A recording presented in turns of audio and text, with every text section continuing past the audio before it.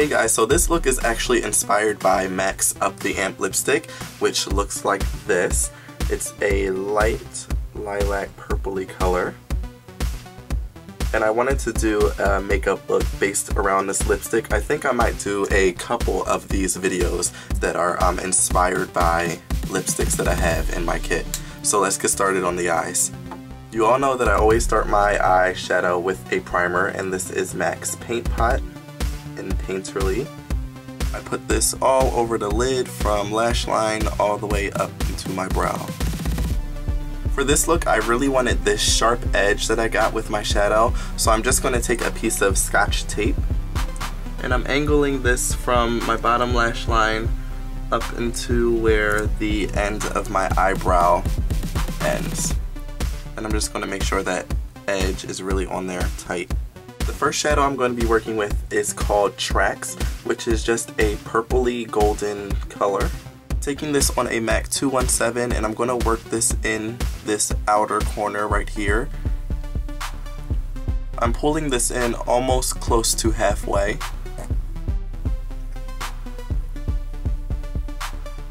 This next color is called Cranberry I'm taking this on a flat brush and I'm just going to pack this all over the lid area and I'm going to leave this inner corner open just a little bit and kind of make sure those two colors blend together well. Now to get these colors um, to blend up towards the brow easily, I'm going to be taking soft brown, put that on a fluffy brush, and I'm just going to go over back and forth those edges.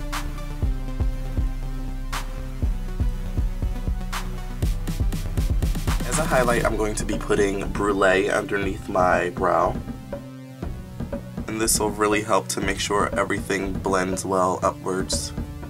For this inner corner area, I'm going to be mixing two colors. This is Beautiful Iris and Motif.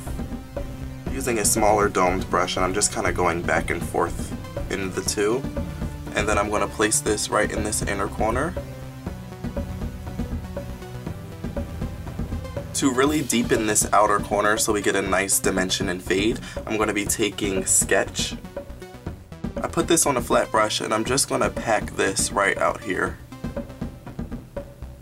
Right on the outer corner into the tape. And then take our blending brush and just lightly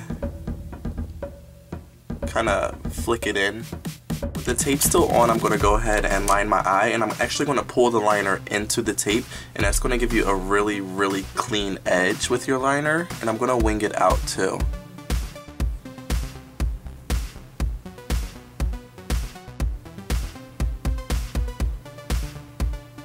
Now you can go ahead and pull the tape off and you'll get that crisp edge with your shadows and your liner. So for underneath, you're going to want to take your white eyeliner pencil and go inside your waterline and then wing this out underneath that black liner. So for underneath that, I'm going to be going in with a angled brush and I'm going to take that first color that we did on our actual eye, which was Trax. I'm going to create a false lash line right underneath the white. When you get into this inner corner, you're going to want to angle it downwards towards your nose.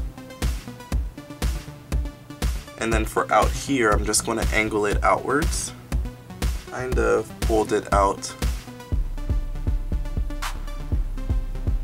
Then go in with cranberry, right on top of where we just put the Trax. And then go in with sketch. Once you have that done, I'm to go ahead and throw on some lashes on top and bottom. For the top, I'm going to be using number 34 lashes.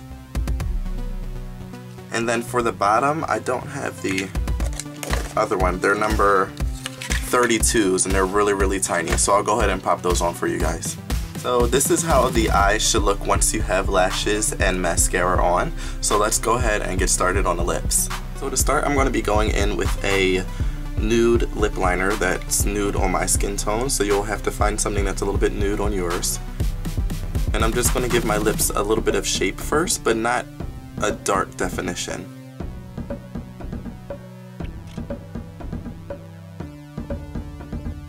now I'm going to be going in with the lipstick and again if you don't know what the lipstick looks like, it looks like this. It's a very vibrant violet purpley color. And I'm filling in the entire lip with that color.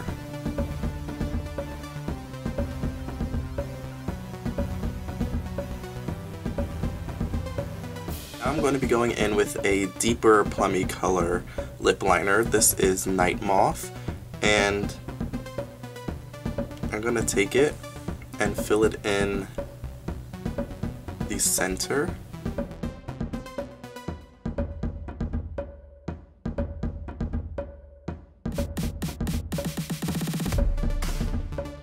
You want it a little bit more dramatic and a little bit darker on the inner part, go ahead and take a black eyeliner